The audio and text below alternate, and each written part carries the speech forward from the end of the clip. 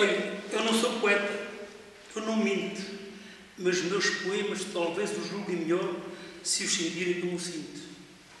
Nem sei se eu gostaria de ser, porque eu escrevo simples quadros para me estar a entreter.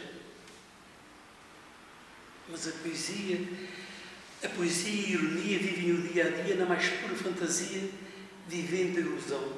Não tem casas para habitação, nem tampouco moradas certas, e alimentem-se da ilusão do coração dos poetas.